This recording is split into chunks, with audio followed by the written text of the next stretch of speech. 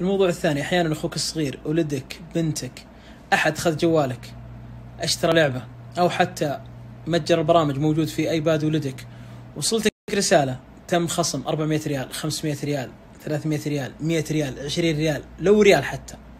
في لعبة أو برنامج من متجر البرامج ترى يحق لك طالب فيه وترجع إذا ما شريته أنت أو تم الشراء بالغلط أو حتى كان اللي شفته شيء كويس وبعد ما شريت اللعبة أو البرنامج ما استفدت منه أو ما حقق لك اللي أنت تبيه.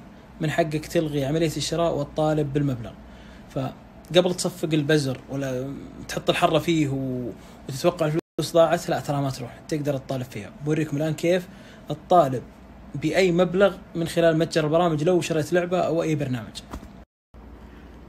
هذه صفحة وبالعربي من موقع أبل نفسه. تقدر تدخل وبتلقى شرح كامل كيف تقدم شكوى أو استرداد مبلغ لأي برنامج. تضغط على هذا الرابط وبعدين بتحط بيانات الحساب حقك اللي تم الشراء اللعبة من خلالها أو البرنامج من خلاله وبعد بتنتقل لصفحة المطالبه بوريكم تلقى كل البرامج اللي أنت حملتها وبتلقى هذا الخيار ريبورت. اضغط عليه وعلى طول بعطيك مجموعة من الخيارات. اختر الخيار اللي تشوفه مناسب منها مثلا البرنامج ما ما كان قد الطموحات البرنامج ما اشتغل بشكل كويس اللي يكون. واكتب شرح بسيط عن المشكلة اللي واجهتك. مثلا إنه البرنامج شريته واكتشفت إنه اللعبة ما هي مناسبة لي أو لعمر الطفل أو اللي يكون أو إن الطفل اشتراه بالغلط.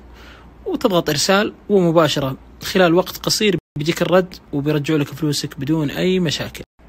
قبل أجاوب على سؤالك